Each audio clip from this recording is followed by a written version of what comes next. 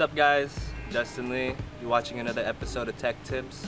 Today we're going to be replacing this distributor O-ring on this Honda Accord.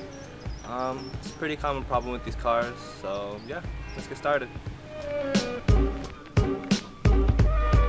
So the distributor O-ring on this car is right here.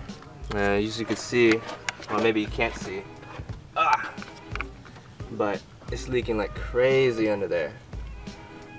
Yeah. First step, remove these spark plug wires from the distributor. You get these spark plug wires out the way, go ahead and unplug the harness to the distributor. And on this car, it's going to be two 12 millimeters. One right here, and then one kind of hidden in the back. On most Hondas, it's going to be three 12 millimeters. One right here, one right here, and then one right here.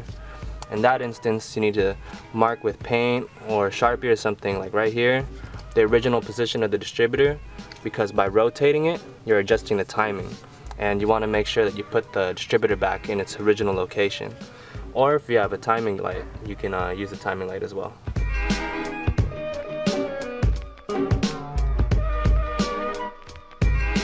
Before you remove the distributor, put a rag underneath for any oil that might leak out.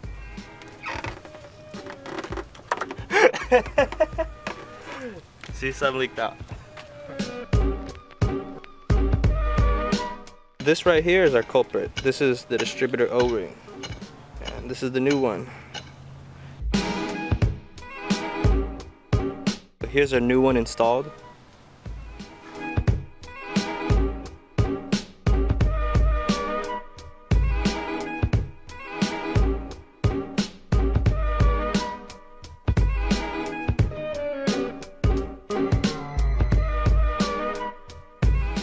So once you got everything buttoned up, go ahead and start up make sure there's no leaks.